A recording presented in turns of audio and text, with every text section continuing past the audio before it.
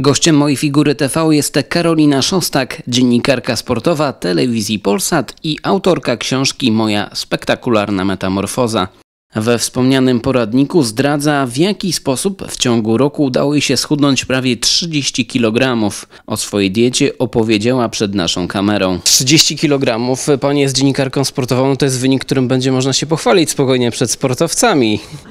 Y, Trudno się chwalić takim wynikiem, dlatego, bo ja jakoś do końca nie jestem przekonana, czy to faktycznie była aż, y, aż taka nadwaga, no ale skoro dietetyk, y, dietetyczka moja tak mówi, no to znaczy, że tak było.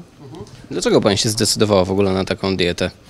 Zdecydowałam się na ten post ze względów zdrowotnych przede wszystkim. Moja, moja koleżanka już ją testowała, Kasia Milczarkiewicz i ja mówię, dobra Kasia, ja też, ja też chcę tego spróbować, bo, bo faktycznie nic na mnie nie działało jakoś tak spektakularnie, tylko to były jakieś takie wahnięcia 5-6 kilogramowe i mówię, Kasia, próbuję. No i, i, to, i to podziałało.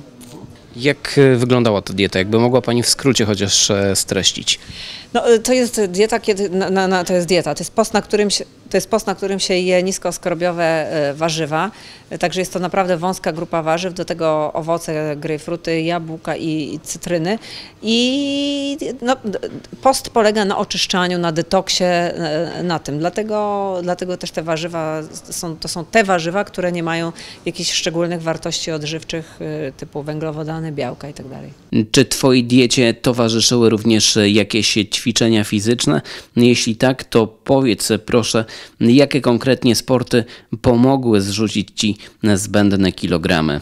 Czy ja, y, y, tak, co ja trenowałam? Nie, w, w trakcie postu to zależy też indywidualnie. Ja jakoś nie wykonywałam jakichś szczególnie y, mocnych y, ćwiczeń, to jest bardziej jazda na rowerze, y, stretching, czyli rozciąganie, jakiś delikatny, delikatny sport, także bez większego wysiłku. Na pewno nie, nie, nie, nie sport siłowy i wysiłkowy. Jako dziennikarka sportowa pracujesz w redakcji no, zdominowanej e, przez mężczyzn. Jestem ciekaw, jak na Twoją metamorfozę zareagowali mm, koledzy z pracy.